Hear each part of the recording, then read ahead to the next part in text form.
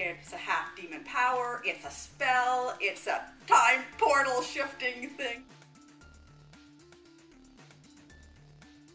I think the one thing with this genre is the idea of being able to experiment.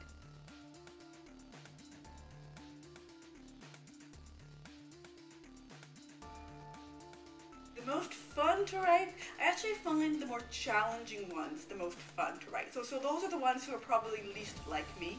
Eve, my half demon witch slash angel, uh, is definitely a, a, lot of fun because we have the least in common. Clay is also lots of fun to write from his point of view because he has such a different outlook on the world. Always have a tough time with the cast the characters game because for me, I see the characters a certain way and no actor ever quite matches. So I know that for Clay, they have, readers have suggested everyone from Matthew McConaughey to Brad Pitt to, and I'm going to forget the name, but the actor on Lost who plays Sawyer.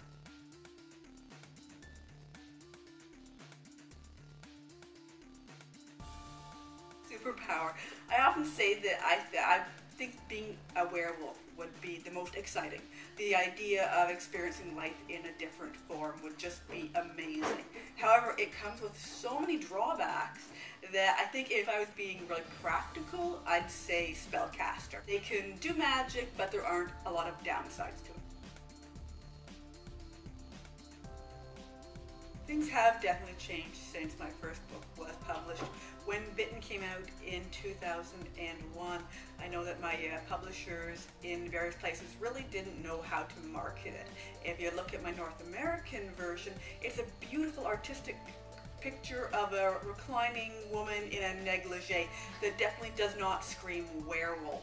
Then a couple of years later, there had been a bunch of us who'd started at the same time. Uh, myself, Charlaine Harris, Jim Butcher, were all writing these books that were combining mystery, action, fantasy, romance, and they suddenly started uh, taking taking off. So by the time I was up to my third book, uh, things were really going much better, but it was still a very small market. And then Twilight and True Blood hit, and suddenly it's vampires are very hot, and everything that goes along with them is equally hot.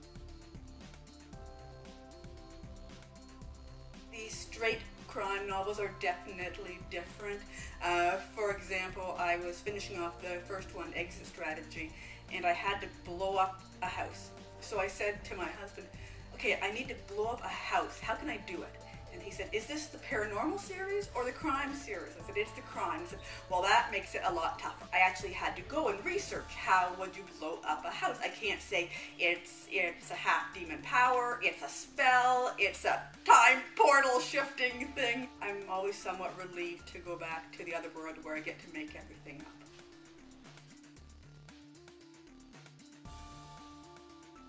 I think the one thing with this genre is the idea of being able to experiment, being able to do whatever comes to mind. If you can make it sound realistic, you can do it. So there really are no limits. So up next for me, I'm actually always working a book or two ahead of what's published. So while my 11th book in the other world, Waking the Witch, doesn't come out till August, I'm actually done the 12th 12th one and starting to plot the 13th